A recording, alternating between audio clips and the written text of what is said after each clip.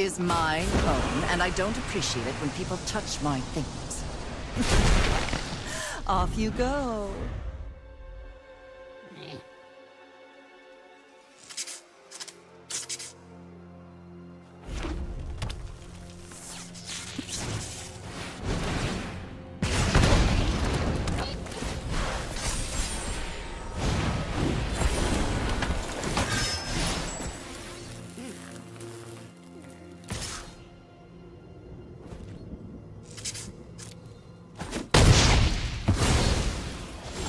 Isn't how things were supposed to go.